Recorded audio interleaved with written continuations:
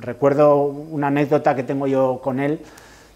que de los primeros días de entrenamiento en pretemporada, y me acuerdo que además pone, Mateo, quiero hablar con usted, venga usted para aquí, y joder,